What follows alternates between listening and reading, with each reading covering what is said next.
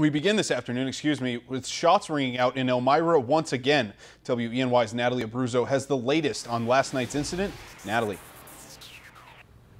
In the past five days, the city of Elmira has experienced six shootings, the latest to take place overnight right here at the intersections of West Gray and Davis Streets. The Elmira Police Department has confirmed another incident of shots fired in the city overnight. Police say several rounds of bullets struck a residence and a woman complained of an injury sustained during the shooting. She was taken to a local hospital. In a string of shootings in Elmira since Saturday, there have been no suspects identified and no arrests.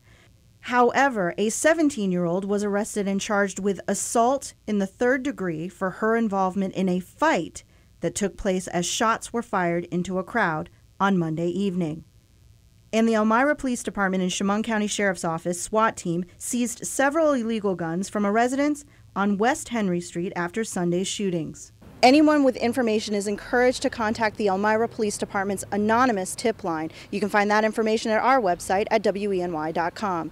Reporting in Elmira, Natalie Abruzzo, WENY News.